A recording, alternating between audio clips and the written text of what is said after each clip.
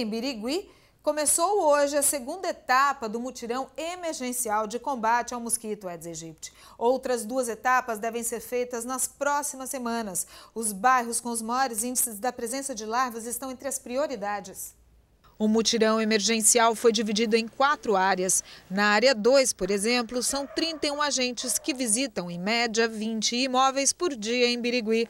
Na casa do seu Paulo e da dona Luzia está tudo certo. Os vasos de plantas estão sem os pratinhos, as garrafas foram viradas para baixo e a piscina recebe tratamento toda semana. Já dá até para adivinhar que eles foram aprovados pela gente. Você vê os cuidados, tudo muito certinho. Haviam garrafas todas de boca para baixo, tudo certinho, arrumadinho. Então você vê que, apesar de uma casa grande assim toda, mas eles conseguem manter certinho o, o local para evitar que aconteça alguma coisa, né? Mas essa não é a realidade encontrada em todos os locais vistoriados na cidade. Na primeira que nós entramos já havia um pneu que o morador disse que tinha tirado do carro, mas estava com pouquinha água, mas tinha um pouquinho. Tinha uma lata com pedra e a hora que nós viramos tinha água dentro, tinha bastante, não tinha larva, não tinha nada, porque prova, provavelmente pode ter sido por causa de chuva recente. Não tinha larva, mas tinha água. Dona Luzia também mora na região onde o trabalho dos agentes de saúde foi intensificado. Na casa da aposentada, a preocupação é ainda maior.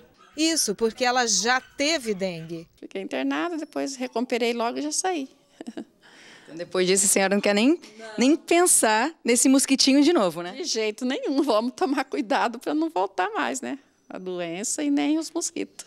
O trabalho emergencial na cidade começou depois da divulgação do primeiro levantamento rápido do índice de infestação por Aedes aegypti, que mede o grau de infestação de larvas do mosquito. O percentual apurado foi de 10,2%, quando o tolerado pelo Ministério da Saúde é de apenas 1% sempre é preocupante, porque você pode ter poucos casos da doença, mas se você tiver uma infestação muito grande, a probabilidade de ter mosquito contaminado e, e, pode infectar as pessoas é muito grande. Então, a tendência técnica é você abaixar essa infestação para que você não tenha tantas pessoas contaminadas doentes. Para evitar uma epidemia de dengue, zika ou chikungunya, a orientação continua bastante simples. A nossa região, nós temos que aprender a evitar os criadouros como a gente toma banho e escova o dente.